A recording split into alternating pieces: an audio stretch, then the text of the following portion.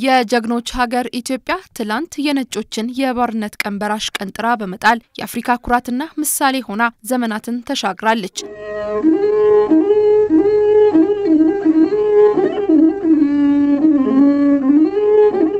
ዛሬም በውስጥ ባንዳው ትነግ አማካኝነት የመጣውን የእጅ አዙር ቅኝ ግዛት ህዝቦቿ አንቀበልም በማለት በአንድነት ተሰልፈዋል። አሸባሪውን የትነግ ወራሪ ኃይል ለመጣል በየክልሉ የሚገኙ አመራሮችና ህዝቦች ቁርጠኝነታቸውን እያሳዩ ይገኛሉ። በኢሉ አባቦራ ዞንም አመራሮችና ነዋሪዎች እንደ ሀገር ተጎናጽፈን የነበረውን ነጻነት አሳልፈን መስጠት ስለማንሻ ጁንታውን ለመቅበር እየሰራን ነው ብለዋል። እዚህ ላይ ያው እንደምታውቀው አጠቃላይ ሁለት አማራጭ አለ። አንዱ አማራጭ ወደ ትናንትናው ባርነት ተመልሰን ይሄ ጁንታ እንደፈለገ እንዲያደርግ መፍቀድ። ሁለተኛ አማራጭ የሚያስፈልገው መስዋዕት ከፍለን ሀገራችን ማስቀጠል። እንደ ዞናችንም ህዝባችንም እየተስማማ ነው። የሚያስፈልገውን መስዋዕት እንከፍላለን። የሀገራችን ብልጽግና ማረጋገጥ አለበት ነው። ነጻነት ነው የምንፈልገው። አንዴ ከዛ ወጥተናል። ነጻነት ጀምረናል ጉዞውን ወደኋላ የሚያደናቅፍ ማንም ቢሆን ምንም የሚያቆም ሰው የለም። የዞኑ አመራሮች በቅርቡ ባካሄዱት ውይይት ግንባር ድረስ ለመዝመት መዘጋጀታቸው ታውቋል። እንደ አመራርም እንደ ዞን አመራሮችም ወረዳ አመራሮችም እስከታች ድረስ ያሉ አባላቶቻችን አመራሮቻችን ግልጽ አቋም ነው ያላቸው። ተወያይተዋል። ሁሉም ወደ ግንባር ለመዝመት ተዘጋጅተዋል። በዞኑ በሚደረገው ጥብቅ ቁጥጥር ከወራሪው ትነግና ሸኔ ጋር ግንባር በመፍጠር መረጃ ሲያቀብሉ የተገኙ አካላት ላይ እርምጃ እንደተወሰደባቸው ነው የኢሉ አባቦራ ዞን አስተዳዳሪ እንዳልካቸው ተፈሪ የነገሩን። ወደ 48 ሰው የሚሆን ከነሱ ጋር ግንኙነት ያላቸውና ከነሱ ተባባሪ ከነሱ information የሚያቀብሉ ተለይቶ በአሁኑ ሰዓት ቁጥጥር ስር ገብተዋል።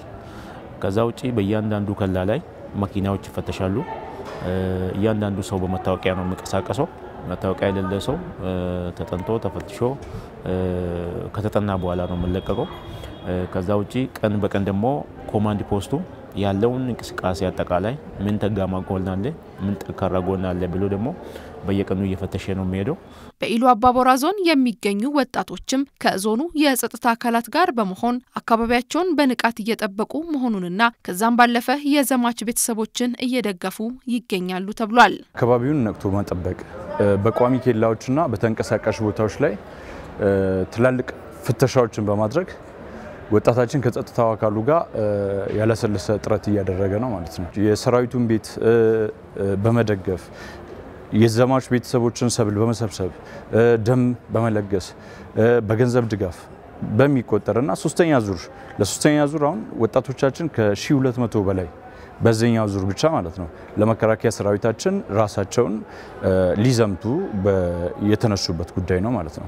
በአካባቢው ጸጉረ ልውጦች የተለየ እንቅስቃሴ ሲያካሂዱ ወጣቱ ከጸጥታ አካላት ቀድሞ በመገኘት ለሕግ አሳልፎ የመስጠቱ ስራ ላይ አበረታች ተግባር እየከወኑ ይገኛሉም ነው የተባለው። የጸጥታ አካላቶቻችን በተለያየ ቦታ ላይ ይሰማሩ ስለሆነ የከተማውን ጉዳይ ለወጣቱ የተሰጠበት ቄሮ ካሁን በፊትም በኃላፊነት የሚመራው አገራዊ ጉዳዮች የመጡት አንዱ ብሔር ከሌላው ጋር ሳይሳቀቅ ማንነቱን እንትን ሳይል መታወቂያቸውን እያዩ በሰላም አካባቢውን እየተከፋፈሉ በመጠበቅ ላይ ነው የሚገኙት። የኢሉ አባቦራ ዞን አመራሮች፣ ነዋሪዎችና ወጣቶች በአጠቃላይ የህልውና ጦርነቱ ዳግማዊ አድዋ መሆኑ ገብቶን ለነጻነታችን ቆርጠን ትነግንና ሸኔን ለመቅበር ተነስተናል ብለዋል። ሁላችንም ከኔ ጀምሮ አጠቃላይ ዞን ውስጥ ያሉ አመራሮች፣ ህብረተሰቡ፣ የከተማ ነዋሪም ለአንድና ለመጨረሻ ይሄንን ጁንታን ቀብረን የእነሱን ቀብር ላይ የኢትዮጵያን ብልጽግና እናቆማለን የሚል አቋም ስላለን በዚሁ እንቀጥላለን የሚል ሀሳብ አለን። ይህ የተጋረጠበን ፈተና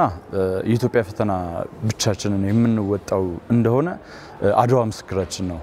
ይህ ደግሞ በሁለተኛ ላይ ሁለተኛውን አድዋ ዳግማዊ አድዋ እንደሆነ ወጣቱ ገብቶታል። ኢትዮጵያ ዛሬም በባንዳውና በእናት ጡት ነካሹ ትነግ አማካኝነት የመጣውን የቅኝ ግዛት አገዛዝ እንደማትቀበል መላው ህዝቦቿ ከጫፍ ጫፍ በመነሳት እየታገሉ ይገኛሉ።